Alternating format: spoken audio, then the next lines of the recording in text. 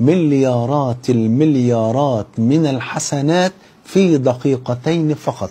بفضل الله نعرف بعد ما نصلى على حبيبنا صلى الله عليه وسلم. والله ثم والله نقدر نحصل على مليارات الحسنات في دقيقتين بس. بفضل الله سبحانه وتعالى. العمر هو الكنز الحقيقي بجد. ولذلك خدوا بالكم من حاجة بقى مهمة جدا. إن الإنسان ممكن يوم القيامة يتوقف دخوله إلى الجنة على حسنة واحدة. وأنا بقول لحضراتكم في دقيقتين هتحصلوا على مليارات الحسنات. وكعهدي بكم وكعهدكم بي بفضل الله سبحانه وتعالى لا أذكر لكم إلا حديثا صحيحا ثابتا عن النبي محمد ما تصلى عليه صلى الله عليه وسلم. في الحديث الذي رواه الإمام أحمد بإسناد صحيح. أن النبي صلى الله عليه وسلم رأى أبا أمامة وهو يحرك شفتيه. أبا أمامة صحابي جليل رضي الله عنه وارضاه. قال رآني النبي صلى الله عليه وسلم وأنا أحرك شفتي فقال لي بأي شيء تحرك شفتيك يا أبا أمامة؟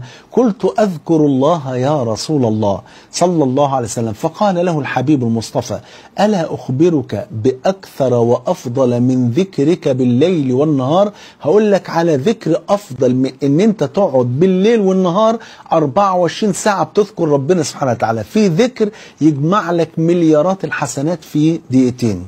فقلت فقلت بلى يا رسول الله. آه نفسي أعرف. فقال له تقول سبحان الله عدد ما خلق وسبحان الله ملء ما خلق وسبحان الله عدد ما في السماوات والأرض وسبحان الله ملء ما في السماوات والأرض. وسبحان الله عدد ما أحصى كتابه وسبحان الله ملء ما أحصى كتابه.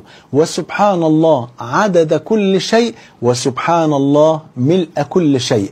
والحمد لله عدد ما خلق والحمد لله ملء ما خلق والحمد لله عدد ما في السماء والأرض والحمد لله ملء ما في السماء والأرض.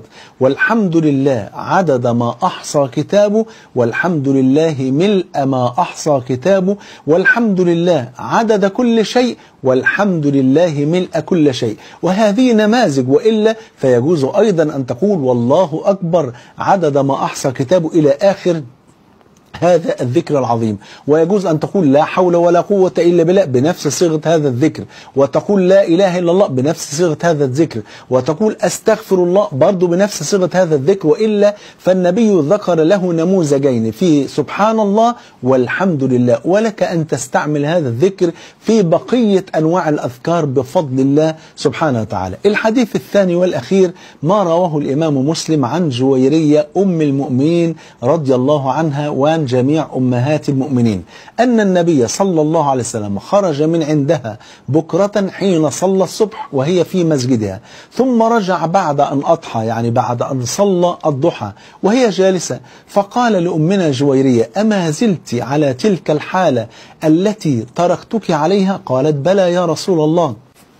قاعدة عمالة بتذكر ربنا سبحانه وتعالى. فقال لها لقد قلت بعدك أربع كلمات ثلاث مرات لو وزنت بما قلت منذ اليوم لوزنتهن. قالت فما قلت يا رسول الله؟ قال قلت سبحان الله وبحمده عدد خلقه ورضا نفسه وزنة عرشي ومداد كلماتي. بالله عليكم اكتبوا النص بتاع الحديث الأول اللي ذكرته والنص بتاع الحديث الثاني لو ذكرتوه ولو مرة واحدة في كل يوم والله لفزتم بمليارات المليارات من الحسنات.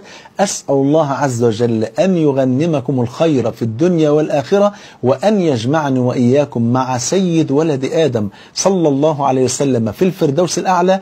بحبكم في الله والسلام عليكم ورحمة الله وبركاته.